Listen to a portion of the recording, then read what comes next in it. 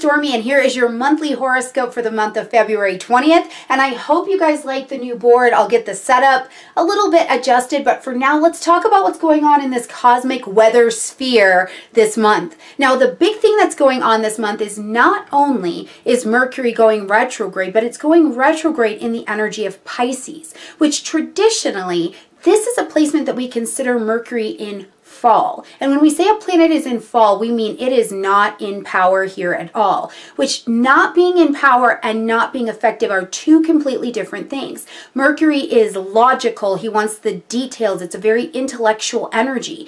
In the energy of Pisces, remember the planet has got to get on board acting like the sign. So in the energy of Pisces, Mercury has got to be emotional. It's like he's trying to think through watery energy. It's blurry. There's not a lot of clarity here. But what does happen is that our minds and our bodies and our emotions are all connected. And Mercury will step into this sphere, sphere for us where it's not so logical, but it is based on emotion. It is based on empathy. It is based on trusting the intuition with the information that you're getting. So not only is Mercury in fall and not in his strongest position here, but then he's going to retrograde. And some of that retrograde will touch into Aquarian energy as well.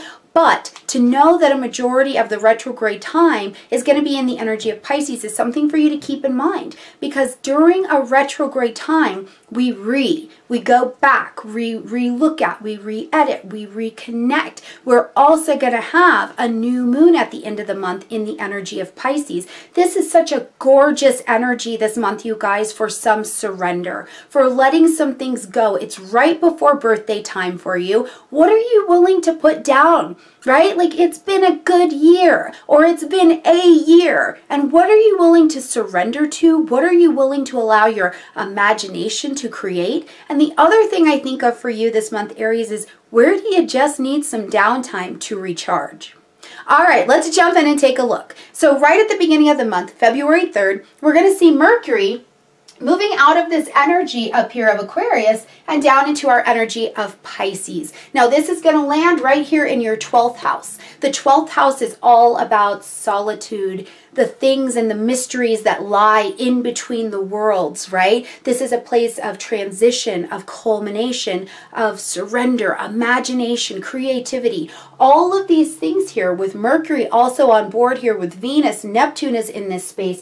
This is a place where I'm telling you, mind, body, spirit is getting the opportunity for you to slow down, for you to listen to yourself, listen to your body, listen to your needs, listen to your grievances. Where do you feel stuck? Where do you feel sad? Where do you feel poetic and like you're shedding or you're detoxing something, right? Take the time to listen to yourself under this energy.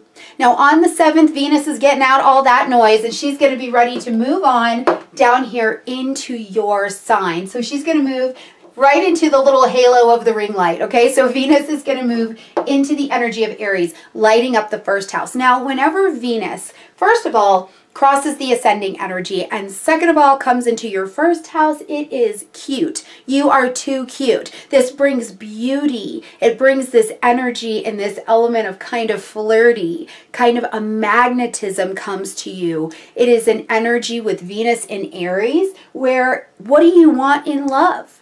What do you want in money? You know, Aries, in this last year, has your identity changed and you are ready for a relationship? You're ready to grow from a relationship. You're ready to identify yourself around love and money differently than you did. And sometimes in the first house, this can be just as easy as you're ready to dress different. You're ready to change your external environments, maybe clean that up, have a look at it in a different way. Now, as a person who also has Venus in Aries as a placement in my chart, I can tell you Venus in Aries is also quite, quite impulsive. So it is an opportunity for some romance to be on your table. Whether you're coupled up or you're single, you might find yourself or recognize yourself being a little bit more impulsive with something. You want to spend a little bit quicker. You want to have a no strings attached relationship more quickly if that's where you're at. You're just feeling the love. And people will also be magnetized to you, and so will money, okay? All right, on the 9th, we're going to have a beautiful full moon in the fifth house in the energy of Leo. Now, the moon, remember as we track this emotional body, Aries, the moon is about your emotions, but it's also about your security right? It's this ushy gushy part that we live and we hold inside of us before people can get all the way to our emotions. They've got to meet our ascendant. They've got to meet our sun. They've got to meet all of these placements before we get to the emotions. So with a full moon happening, the full moon sheds the biggest, brightest amount of life and light that we have got on a given area. In Leo, this lends itself to your fifth house. The full moon says that something needs to be ended, acknowledged, or an adjustment needs to be made. So here in your fifth house area, I would tell you, this moon is a beautiful opportunity for you to start something, right? What needs to end? What's happening in the surrender and the magnetism that's leading you to a new start? Are these two compatible with each other? You know, did you decide I'm ready to dress a little bit different? So I am therefore ready for romance. I am therefore ready to put this business project out there. I am therefore ready to present myself differently.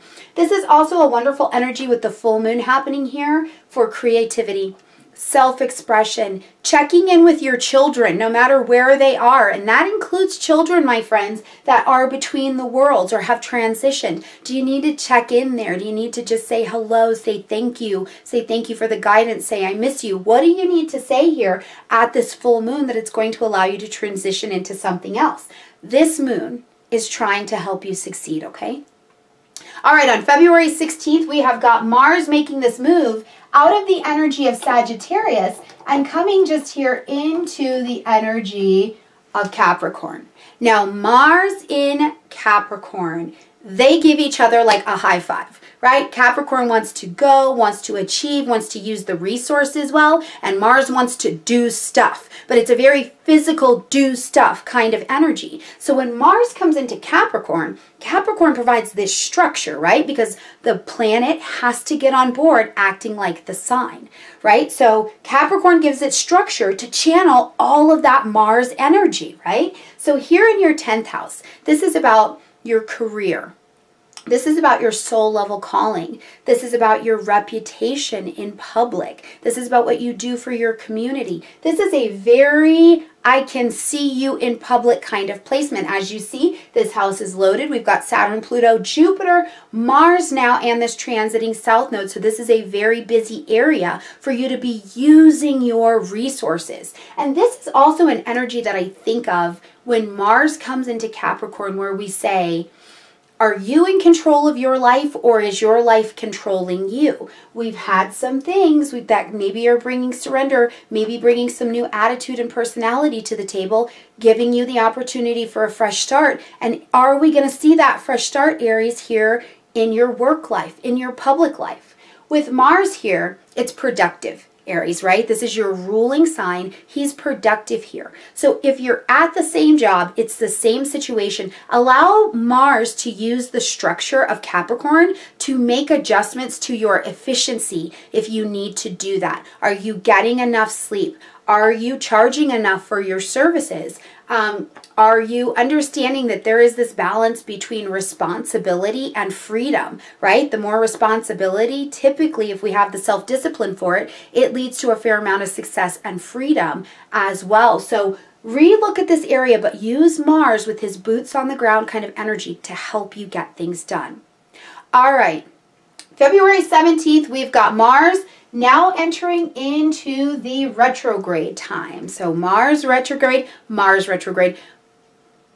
February 17th, we've got Mercury taking his retrograde here in the energy of Pisces. Now, the retrograde will go between your 12th and your 11th houses, but we're going to start it here in the 12th house in Pisces. So remember, your intuition with Mercury here is not as strong as it normally would be, but it's still a guiding source you're going to have to use for information. Um, this is a placement where with Mercury retrograde here and in the 12th house, you might feel a little bit confused about what you're doing going forward. What is my pathway forward? What do I need to adjust up here? What happened in the past? What do you need to surrender?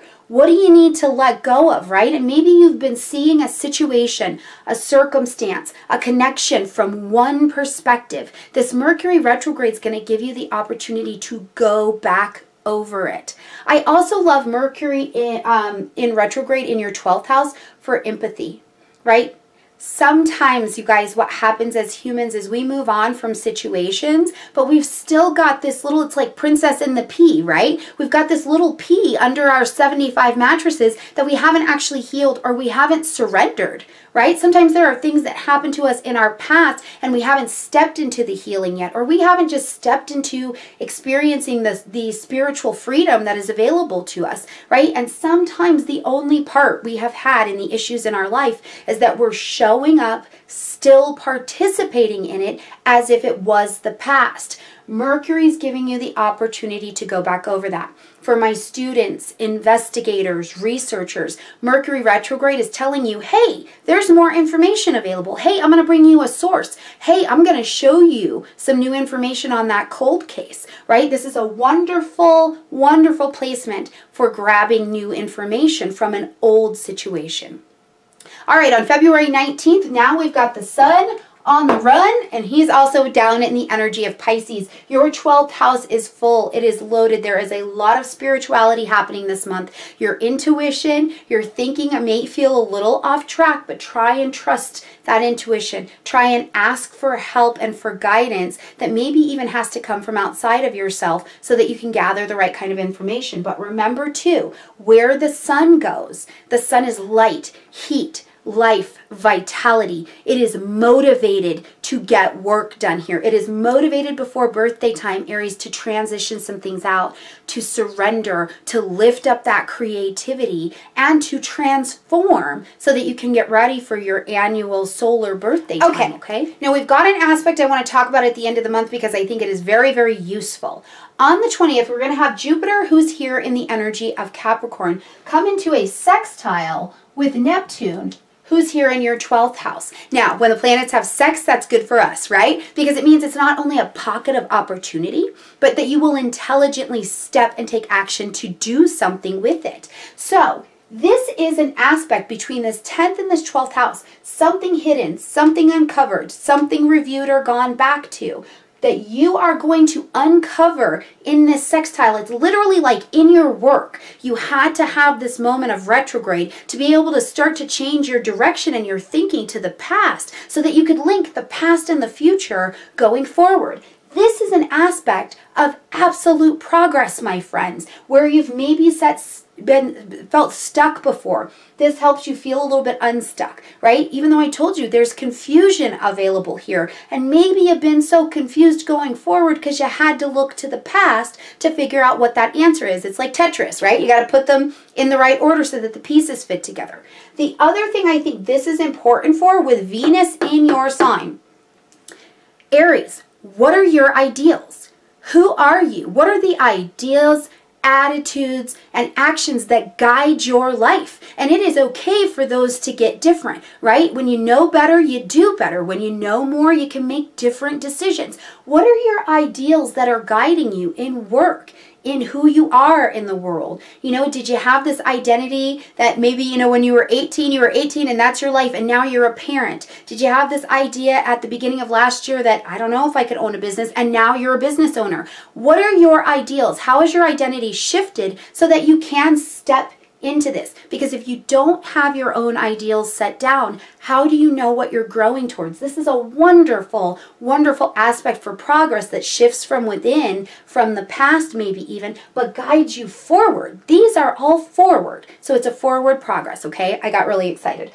All right, to end the month, my friends, February 23rd, we are going to have a new moon happening here in the energy of Pisces. Now, the aspect that happens when we have a new moon is that the sun and the moon are together. When the sun and the moon, our outsides and our insides dance together, anything is possible. This is a joining of energy. So this is why we plant these seeds of intention. Now, keep in mind, the new moon is the darkest calmest time of the moon phase, right? It is in the 12th house, which is our house of transition. So this may be you making progress, making your hustle, moving towards your dreams and your goals quietly right? Not everybody needs to know what you're doing. You can hustle quietly and get it done, right? The other thing I think of with this new moon in the 12th house is again, what do you need for your ideals? What do you need for your own spiritual mental practice? What do you need to recharge, Aries? Get that set up now so that as you move forward into your next annual year, you can have these practices. You can say, you know what? Nope, every Tuesday at 1.30, I take a 30-minute meditation break. Um, you know what? I do 15 minutes worth of research and I do 15 minutes worth of writing. You know what this looks like for me is I am attending my meetings. I am attending my therapy. I am attending whatever. I am writing. I am praying. I am making this poetry. I am connecting with the elderly. I am helping those in positions um, that are maybe specialized populations or charity. What do you need to do? What seeds of intention do you want to plant for your spiritual grounding so that you can be okay going forward? This is about expressing the glory of your life, but it comes through a place of practices for you. And it's usually a place that comes from in between the worlds, okay? All right, my beautiful friends, thank you so much for sticking with me as I'm doing my first setup with the new board, the lighting. I have so much to learn, but hopefully you've been able to see your cosmic force of what's happening. You're heavy on the Eastern Hemisphere this month, which means, Aries, you are a very big decider in what's happening in your life. How do you want it? How do you want things to be reset so that your world feels like it has a solid foundation going forward? As we get moving into the rest of the months, we'll start to see the shifts in the hemispheres and those energies will look a little bit different. All right, you guys, like this video, comment, share, subscribe. I know that the uh, ring light looks like a little bit of an eclipse, so that's a little bit of fun for us here on this channel as well. All right, you guys, I love you, and I will see you next month where this will just keep getting better and better and better. Bye, Aries.